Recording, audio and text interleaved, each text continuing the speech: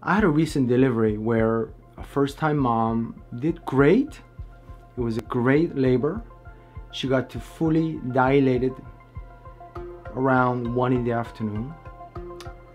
And she needed to be coached.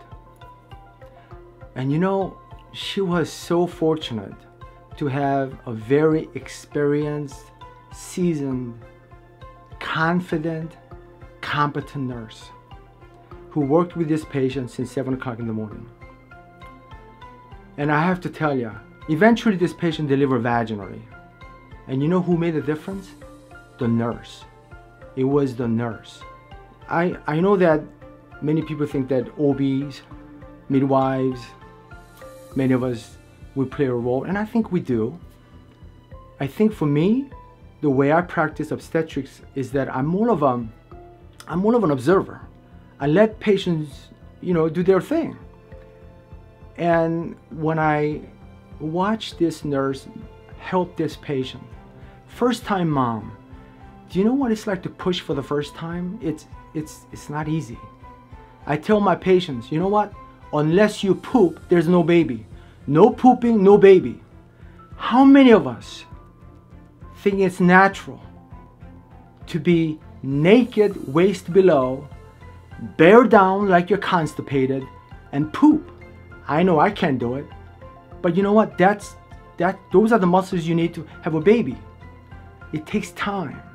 And I watched this nurse help this woman change left, change right, at one point, I couldn't really figure out how this nurse had this patient's leg over her shoulder and was massaging her back at the same time just because patient was having back pain.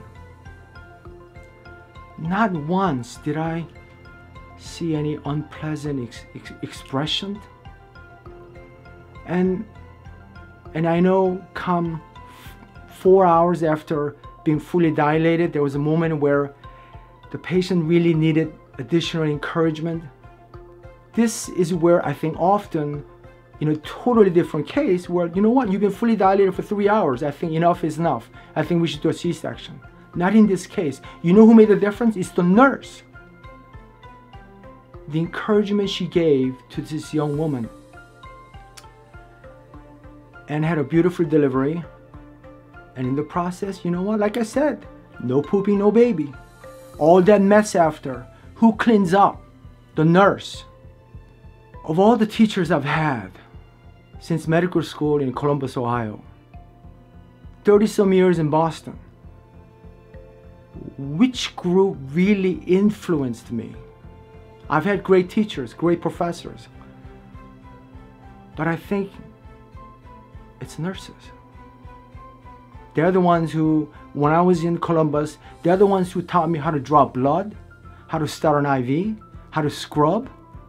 When I got to Boston City Hospital, they're the ones, I remember one of my first deliveries. You know, I was all dressed and then I was ready to do one of my first deliveries by myself. And the father of the baby goes, Doctor, how long have you been doing this?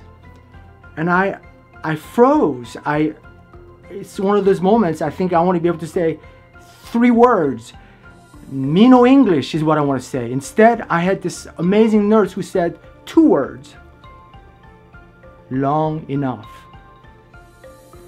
I will never forget that delivery.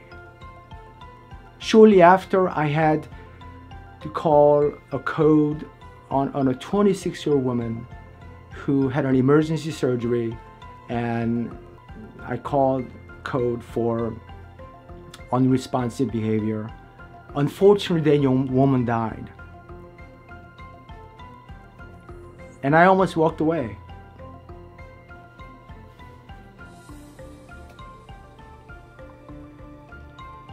But it was that nurse who said, Chun, you are just a lowly intern.